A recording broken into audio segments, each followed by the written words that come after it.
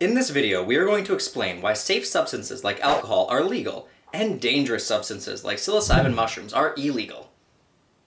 For a drug to be classified as Schedule 1, which is what magic mushrooms are in most countries, they have to obtain absolutely no therapeutic or medicinal value. Alcohol and psilocybin mushrooms are both psychoactive drugs. A psychoactive drug is any chemical substance that changes brain function and results in alteration in perception, mood, or consciousness. Wikipedia.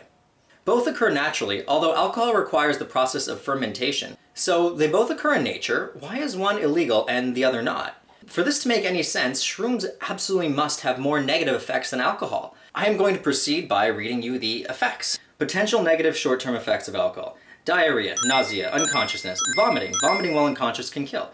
Emotional volatility, dizziness, erectile dysfunction, increased difficulty achieving orgasm in some females.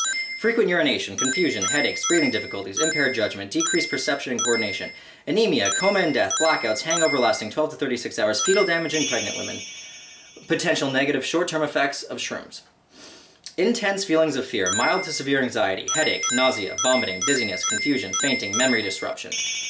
Let's look at the long-term effects. Potential long-term effects of alcohol.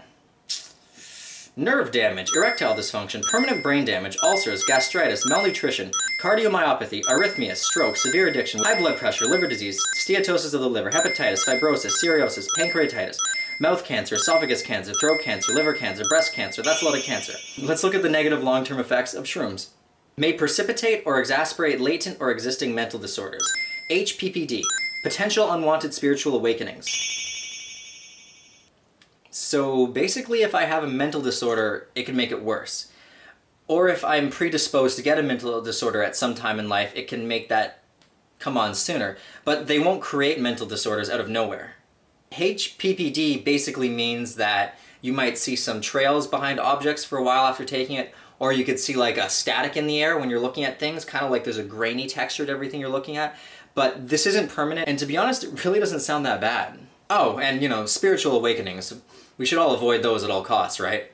Well, that was a bust. Alcohol seems like it has a longer list of negative effects, both in the short term and in the long term. Maybe shrooms are illegal because um, it's easier to die from them? Maybe a lot of people overdose when taking them? Let's take a look at the LD50 of both substances. The LD50 for alcohol happens when blood alcohol concentration level hits 0.45%. This happens at about 13 shots if a 40% alcoholic spirit is drank. So basically what that means is you would have to consume 13 45 milliliter shots all in one go to reach the LD50, where you have a 50% chance of dying.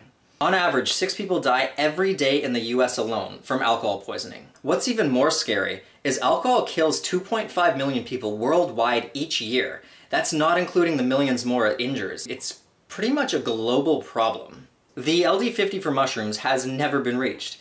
This means no one has ever died directly as a result of eating psilocybin mushrooms. No one has ever overdosed. The LD50 for rats is 280 milligrams of psilocybin per kilo. So let's assume that the LD50 is the same for humans, and we'll take a 60 kilogram human and see how much he would have to consume to overdose. Given these numbers, a 60 kilogram human would have to consume 1,680 grams of dried psilocybin mushrooms to overdose. This is assuming that each gram of mushroom contains 1% psilocybin, which is the average range for dried mushrooms. Uh, basically, this is enough mushrooms to cause 650 people to have a regular mushroom trip. So, I'm still confused. Alcohol seems ridiculously more dangerous than shrooms. How come one is illegal and the other isn't? Maybe alcohol has more long-lasting positive effects. That's gotta be it. Let's take a look at the positive effects of both substances. Short-term positive effects of alcohol. Relaxation, mood lift, increased sociability, lowered inhibitions, reduced social anxiety, kills pain, beer goggles, others appear more attractive. That should probably be in the negatives. Short-term positive effects of mushrooms. Mood lift, euphoria, increased giggling and laughing, creative, philosophical, or deep thinking. Boring tasks can become more interesting or funny. Sensation of insight, life-changing spiritual experiences, intense feelings of wonder, paradoxical feeling of normalcy, and deep alteration of psyche. May interrupt cluster headaches, increased detection of motion and peripheral vision, open and closed-eye visuals, memories come to life. Whoa. All right, let's take a look at the long-term positive effects. Long-term positive effects of alcohol. Reduction in ischemic stroke, a reduction in coronary heart disease. Um, that's actually debatable. Even if it's true, I can think of many more healthy routes to reduce your chances of getting a stroke or heart disease. Also keep in mind these positive effects are for people who consume alcohol moderately, not the overindulgence our society is known for. Long-term positive effects of mushrooms. Reduced anxiety, more positive outlook on life, reduced fear around death, ability to eliminate addiction. In a recent study by the Johns Hopkins School of Medicine, psilocybin was given to 18 healthy adults. 14 months after completing the study, 94% who received psilocybin said it was one of the top five most meaningful experiences of their life. A further 39% said that it was the single most meaningful experience in their life. In another study involving near-death patients who were administered psilocybin, it was found to greatly reduce their anxiety around death. It's kind of like it made them feel okay with dying. Maybe they realized there wasn't that much to be afraid of after all. In another study to help heavy smokers quit, they administered three sessions to 15 volunteers. 12 of the 15 smokers managed to quit smoking for six months after their psilocybin sessions. This demonstrated a success rate of 80%. Okay, so let me get this straight. Mushrooms are a Schedule 1 substance in America and many other countries, which means this. Schedule 1 drugs, substances, or chemicals are defined as drugs with no currently accepted medical use and a high potential for abuse. Schedule 1 drugs are the most dangerous drugs of all the drug schedules, with potentially severe psychological or physical dependence. In what way does that describe psilocybin mushrooms? They have no dependency issues, they're non-addictive. Actually, you build an immediate tolerance to them. So if you were to consume them every day, um, eventually they would virtually have no effect on you. Also, I believe curing addiction falls under the category of medical use. What medical use does alcohol have? it's a mild painkiller. Um, there's far better painkillers out there than alcohol. So clearly none of this makes sense.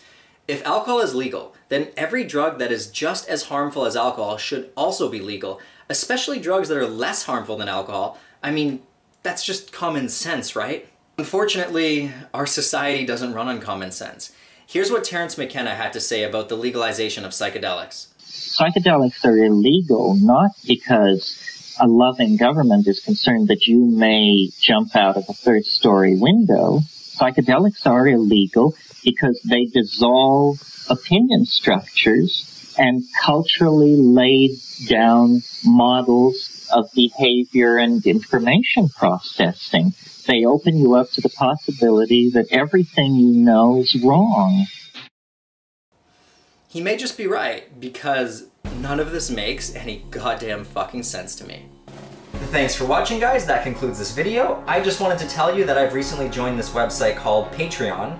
Um, you may have heard of it, you may have not. Basically it allows you to go on there and donate the equivalent of buying me like a cup of coffee per month, so like $2. I don't expect anyone to donate, I'm not one to really want to reach out and ask for donations um, because these videos will always be free. I would never charge anything for them and I do this because I'm very passionate about what I'm talking about and this is really fun for me and enjoyable. So yeah, donating will just help me help the frequency of uploads improve and the quality of video because I'm using like a Sony $100 camera right now. And yeah, I would love to get some sweet lighting in here just to make the quality, you know, better. And I would, I would love to do this full time. In the meantime, I really appreciate all the positive comments lately. They really mean a lot to me. Hearts here. And um, yeah,